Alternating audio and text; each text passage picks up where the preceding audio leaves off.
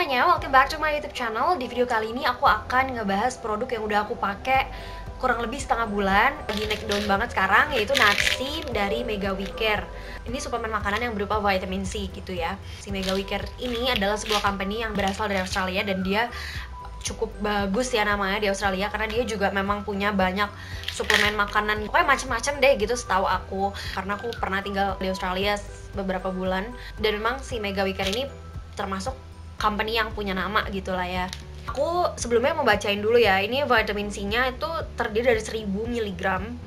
Terus sisanya aku nggak ngerti itu apa, tapi kayak banyak-banyak hal-hal lainnya. Kalau yang original itu dia jadi sealnya ada dua gitu. Seal yang satunya ini di dalamnya nah ini vitamin C 1000 mg kayak gitu-gitu ya. Nanti dia bisa dikelupas kayak gini.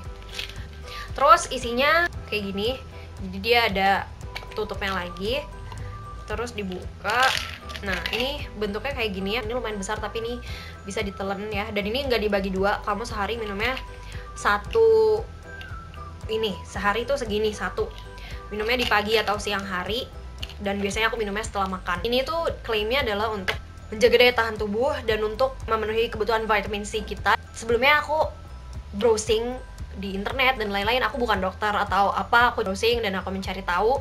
Jadi vitamin C sendiri itu adalah sesuatu yang nggak bisa diproduksi sama tubuh kita. Jadi vitamin C itu sesuatu yang harus kita dapetin dari asupan entah dalam bentuk makanan atau vitamin atau suntik gitu. Makanya ada orang yang suntik vitamin C gitu. Jadi tubuh kita nggak bisa memproduksi itu. Kita butuh dari buah dari sayur atau suplemen makanan salah satunya. Jadi ini untuk memenuhi kebutuhan vitamin C di tubuh kita. Ini memang cukup tinggi ya dosisnya tuh 1000 mg makanya ini kata orang bisa untuk mencerahkan kulit gitu. Karena dia punya vitamin C yang kadarnya cukup tinggi gitu. Biasanya kalau misalnya kayak suntik putih gitu dia minimal tuh 1000 mg sampai bisa 5000 mg kalau suntik putih. Dan ini tuh 1000 mg tapi ini bukan suntik ini bentuknya adalah minuman gitu. Dan emang untuk suplemen kesehatan gitu loh. Vitamin C ketika kita minum berlebihan of course dia akan memperberat kerja ginjal gitu. Yang aku tahu tuh kayak gitu. Makanya aku sebelum beli kayak aku research dulu apakah dia akan memberatkan kerja ginjal atau enggak. Basically kalau misalnya vitamin C kita uh, cukup tinggi itu pasti akan memberatkan. Seenggaknya sedikit lebih memberatkan kerja ginjal. Jadi kita harus minum banyak air. Seenggaknya satu setengah liter sampai 2 liter sehari untuk memenuhi kebutuhan air agar mempermudah kerja ginjal kita. Gitu. Jadi sebelum kalian beli ini alangkah baiknya kalian browsing dulu searching dulu. Kalau kalian udah punya masalah ginjal kalian harus lebih berhati-hati karena ini of course obviously akan memperberat kerja ginjal karena ini bentuknya minum beda sama suntik. Kalau suntik dia langsung masuk ke pembuluh darah dan dia tidak memperberat kerja ginjal gitu. Cuman apakah ini berbahaya? Ya enggak lah ya karena ini udah ada BPOM juga. Nomor BPOM nya kalian bisa lihat di sini. Terus apalagi sih? Ini nomor apa ya? Pokoknya ini udah BPOM jadi udah pasti aman gitu ya untuk diminum dan dikonsumsi sehari-hari. Fungsi vitamin C sendiri itu apa sih fungsi vitamin C sendiri yang aku tahu dan aku cari tahu di internet adalah untuk mencegah pembentukan melanin di kulit yang membuat kulit lebih gelap gitu. Jadi si vitamin C ini tuh mencegah supaya kulit kamu tuh tidak memproduksi melanin lagi gitu. Udah gitu, jangan buat-buat lagi melanin. Udah cukup hitam lo nggak usah ditambah-tambahin hitamnya.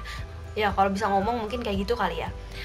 Kenapa bisa mencerahkan? Karena dia hambat pembentukan melanin gitu kan. Jadi yang harusnya kulit kamu panas-panasan kebakar, melaninnya yang harusnya terbentuk jadi nggak terbentuk karena vitamin C. Jadi itulah kenapa kita penting banget minum vitamin C.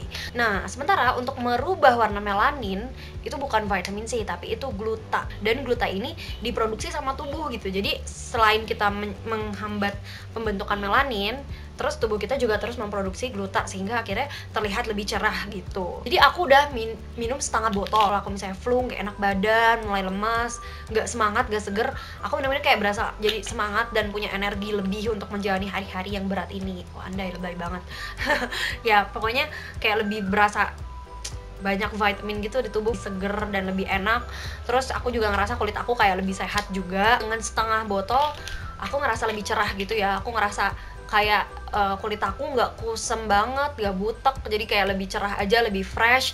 Cuman aku belum ngeliat perubahan yang kayak wah kulit gue putih gitu. Enggak of course. Aku cuman ngelihat perubahannya lebih cerah sedikit demi sedikit.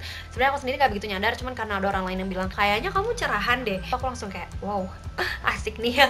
Berarti ini bekerja dengan baik di kulit aku gitu. Jadi aku akhirnya oh ini pasti dan nasi. Cuman emang nggak drastis banget. It takes time obviously karena ini adalah suplemen. Jadi nggak nggak tiba-tiba. Ini pasti udah pasti bertahap ya. Seenggaknya kamu minimal satu botol lah untuk melihat hasilnya menurut aku. Terus dua botol tiga botol terus terusin aja minum karena produksi melaninnya akan semakin bertambah gitu. Jadi vitamin C adalah sesuatu yang kamu butuhkan di dalam tubuh secara terus menerus gitu yang memang continuously kamu butuh dari entah dari makanan dan lain-lain.